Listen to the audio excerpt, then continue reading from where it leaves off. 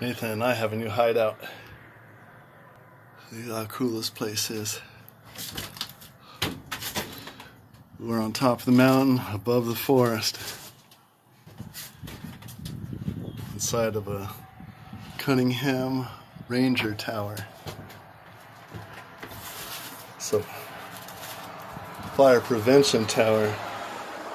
Here's a diary log from a ranger. Goes back to November of 1980. Teddy Bumpus.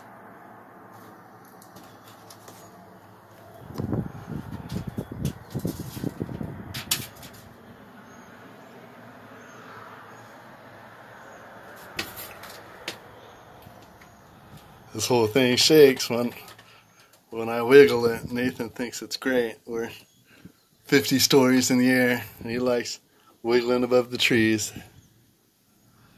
Dad, where is, where is, it's like, it's, this is the top of the tree. Yeah, we're above the trees, literally.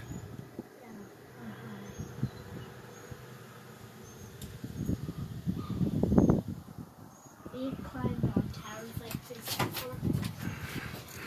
Oh, we gotta check it out if we're fascinated by it, huh? Uh, uh, now lucky this one's free. It is. Well, it's free, but it's dangerous. if you're gonna come up here, you gotta t- do so at your own risk.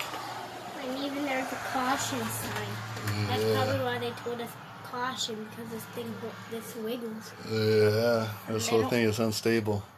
So if you have a party in here, so That's why we had to climb through the bushes at the bottom too to get through. They wanted that to be walled off with bushes, but we got the bikers' rights. And it even said caution if they had a